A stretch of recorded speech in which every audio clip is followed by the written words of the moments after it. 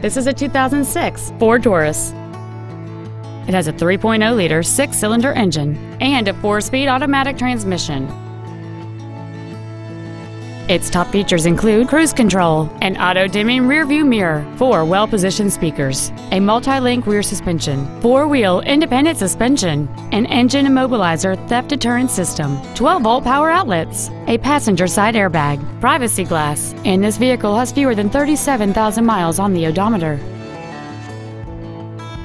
With an EPA estimated rating of 27 miles per gallon on the highway, this vehicle is clearly a fuel-efficient choice.